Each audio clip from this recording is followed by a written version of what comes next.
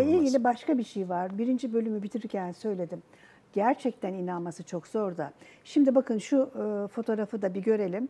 Trump arkasındaki ikisim. Biri Netanyahu, hani neredeyse kanka e, fotoğrafı gibi o kadar yakın. Hemen yanı başında da Damat. Jared Kushner, e, o kendisi bir e, Yahudi biliyorsunuz e, ve İsrail'in en büyük savunucusuydu. E, böyle bir fotoğraf. Şimdi çok enteresan bir e, durum çıktı ortaya. E, bunu da gene e, Fehmi Korun'un yazısından okuyoruz ama İsrail basında da e, yer yer görüyoruz. Şimdi e, Netanyahu Suudi Arabistan'a giden bir Amerikan heyetine sızmış. Yani gerçekten enteresan. Şimdi diyor ki e, Fehmi Koru yazısında, Netanyahu veda ziyaretleri yapmak üzere bölgede bulunan ABD Dışişleri Bakanı Mike Pompeo'nun heyetinin bir üyesi gibi Suudi Arabistan'a gitti. Suudiler hayır gelmedi dediler. Ama diyor İsrail Netanyahu Suudi Arabistan'a gitti. Orada Veliaht Prens'le görüştü. Haberlerini güle oynaya yaydı. Şimdi bunda zaten şaşıracak bir şey yok.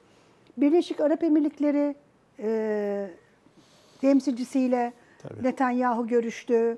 E, gene o Arap ülkelerinin istihbarat servisleriyle Mossad'ın başındaki isimler görüştü. Şaşıracak bir şey yok. Suudi Arabistan en büyük abi olduğu için belki şaşırılıyor ama Mike Pompeo'nun ekibinde Netanyahu'nun Suudi Arabistan'a gitmesi ama bence O- hani o çok başka haber. bir şey. O çok başka bir haber. şey, evet. Büyük haber. Evet. Yani yani bir, bir devletin e, resmi heyetinin içinde başka bir devletin e, en tepesindeki ismin olması ya bugüne kadar görülmedi böyle bir şey. En azından benim hatırladığım e, şeyde tarih içerisinde e, böyle bir ziyaret yok. Eğer bu e, gerçekten e, olmuşsa e, yani Orta Doğu politikasının nerelere geldiğinin e, işaretidir ve aslına bakarsanız e, Suudi Arabistan'ın e, nerede olduğunun e, fotoğrafıdır. E, yani bir zamanlar aslında biz e, oyun kurucu olarak Orta Doğu'da Ya. e, işte e, ortaya çıkmıştık. Maalesef oyun kuruculuğumuzun hiçbir tarafı kalmadı. Tek başımıza kala, kala Sorumu kaldık. ben e, Fehmi Koru'nun e, yazısındaki soruyla sorayım. Tabii ki. Diyor ki e, Fehmi Koru, acaba diyor komşu sayılacak bu coğrafyada yani bölgede, bu haritayı verebiliriz. Hani burnumuzun dibi neticede. Bunlar oluyor da ve biz bunları ve arkasında olup bitenleri, niyetleri doğru değerlendirebiliyor muyuz? E, ve yeni dönem için buna uygun bir hazırlığımız var mı? Ee, sorunlar çok. Bir milyon dolarlık evet, sorunlar çok. Ee, başta bu S-400 e, meselesi. Ee, Rusya ile e, geldiğimiz stratejik nokta. Ee, Suriye'deki e, PYD meselesi. Ee, Doğu Akdeniz e, meselesi.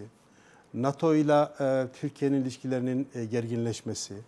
e, Avrupa Birliği dahil olmak üzere batılı müttefiklerimizle e, iç politikanın ihtiyaçları doğrultusunda yaptığımız e, çıkışlar, hani devlet adabına çok uygun olmayan çıkışlar. Yani aslında e, pek çok ilişkiyi e, tahrip ettik bu süre içerisinde. Ve bu ilişkilerin tamir edilmesi çok kolay değil. Yani Amerika Birleşik Devletleri e, elbette ki bölgede e, en e, önemli, en dominant güç.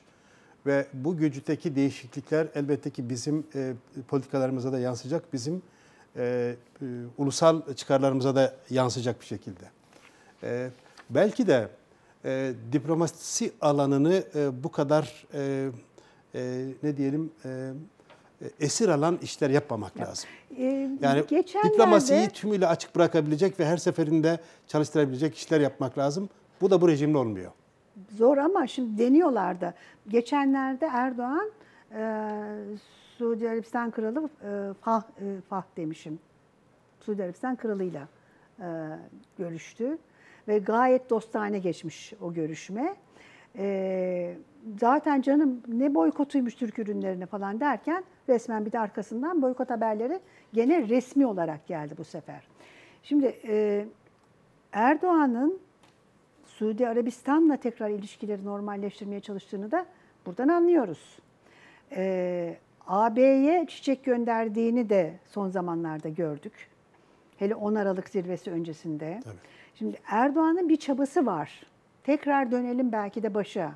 Bu e, bu konuda e, küçük ortak Bahçeli ikna edilmiş midir? Ya Devlet Bey sen de haklısın böyleyken böyle ama bak biz de bunu yapmak zorundayız diye. Ben Ee, Devlet Bey'in bu konularda bu konularda e, çok belirleyici olduğunu düşünmüyorum. Özellikle dış politika konularında. Yani Türkiye'nin güvenliği e, meselesi diyebileceğimiz iki meselede Devlet Bey'in e, iradesi söz konusu olabilir. Bunlardan bir tanesi Suriye ve PYD meselesi.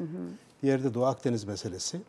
Ama onun dışındaki konularda özellikle e, çeşitli e, işte Orta Doğu ülkeleriyle ilişkiler, başta e, Suudi Arabistan ve Mısır olmak üzere bu ilişkilerin iyileştirilmesi, daha doğrusu normalleştirilmesi diyelim.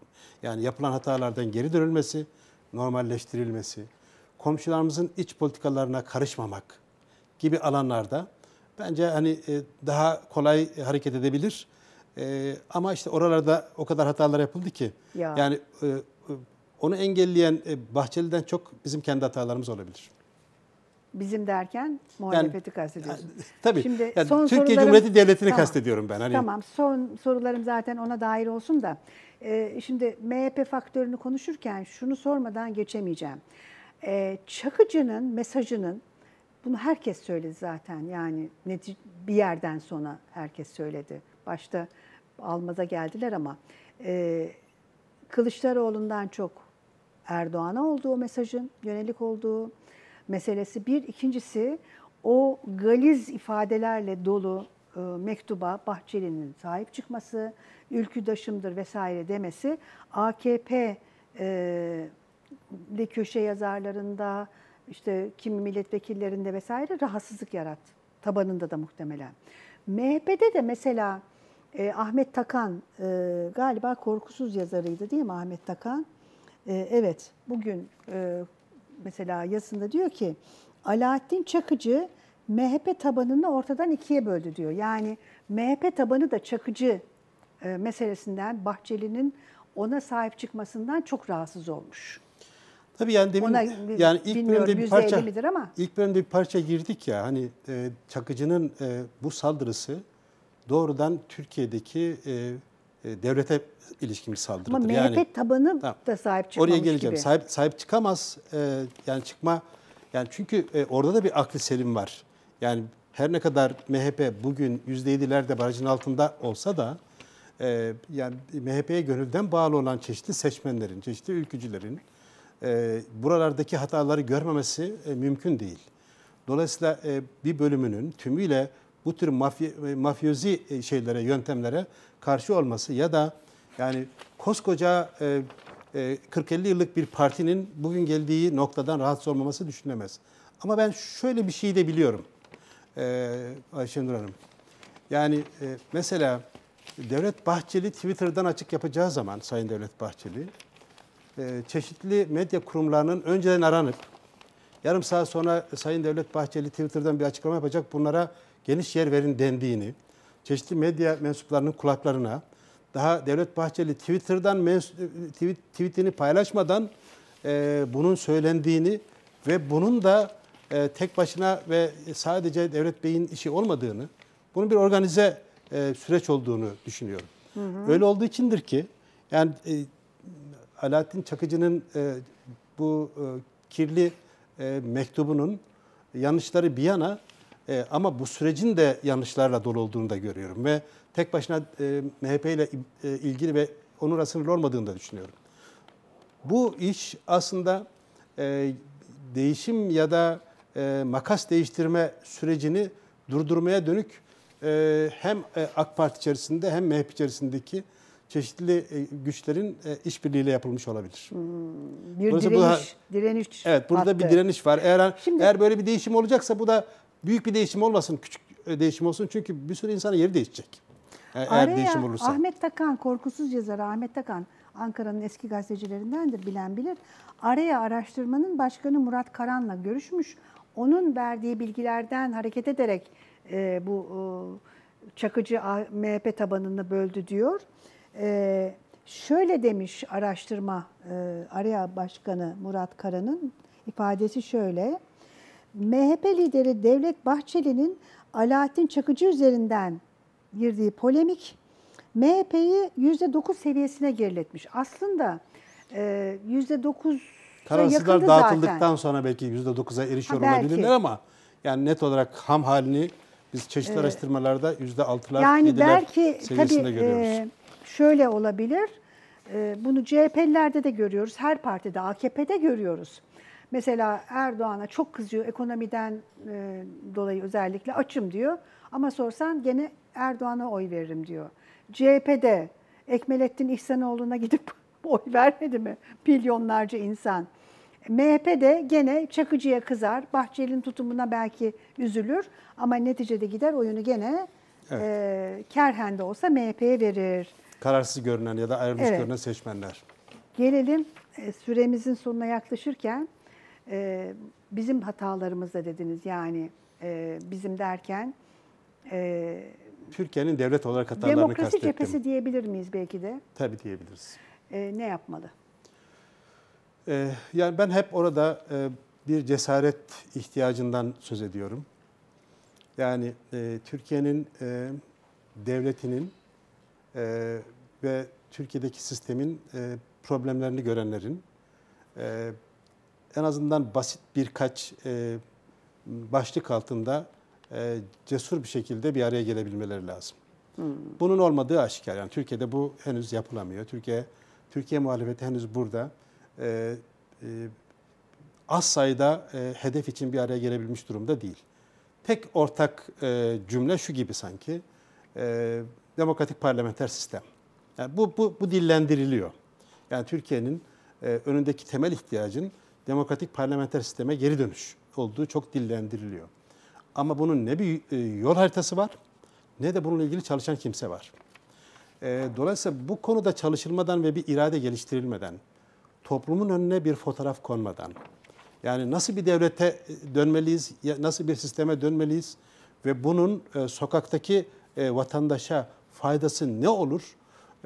Bu konuda kafalar çalıştırılmadan ve ortak bir noktaya gelinmeden e, e, herhangi bir seçimin e, muhalefet bloku lehine e, kesinlikle sonuçlanacağını söyleyemeyiz. Peki o Böyle bir böyle bir, böyle bir hedefler- durum var. Hani bekleyelim. Her şey kötüleşsin biz otomatik olarak kazanırız. Yani Böyle bir- ekonomi böyle bir durum yok. götürür e, kolaycılığıyla Evet, özellikle. evet, Dolayısıyla o belirli hedefler derken ekonomiyi kastetmediğiniz açık. Tabii. Çünkü herkes ekonomi konusunda her- aynı şeyi söylüyor. Ama e, yani Siz ekonominin düzelmesi ekonominin düzelmesi için de hukukun, adaletin ve demokrasinin düzelmesi şart. Tamam. Bu Dolayısıyla olmadan o hedefler neler? Daha somutlaştırır mısınız? ya bu hedefler e, açık ve net bir sonraki e, seçimden itibaren bizi nasıl bir devlet yapısı bekliyor? Bunun için ne hangi konuda anlaşmışlar? Bizim için bir ütopya var mı? Ortak ütopya. Hmm. Yani çünkü muhalefet dediğimiz bileşen beş, beş benzemez. Yani bunların içerisinde e, işte e, siyasi İslam'a yakın olanlar var. E, sosyalist tarafta olanlar var, sosyal demokratlar var. E, ülkücü kökenli olanlar var, merkez siyasete yakın olanlar var, merkez sağ siyasete yak- yak- yakın olanlar var. Var oğlu var. Şimdi bunların bir araya gelebilmesi için bir ortak metne ve ortak yol haritasına ihtiyaç var. Bu yok ortada. Ve bunu e, ve ayrıca Kürt siyaseti var.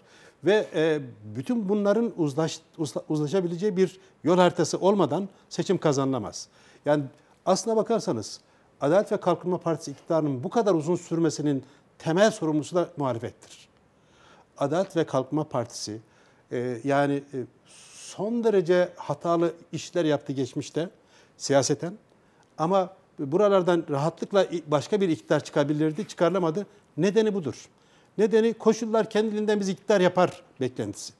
Hiçbir koşul kendiliğinden sizi iktidar yapmaz. Şimdi e, ortak bir devlet hayali deyince yanlış anlaşılmasın hayal ortak olmalı.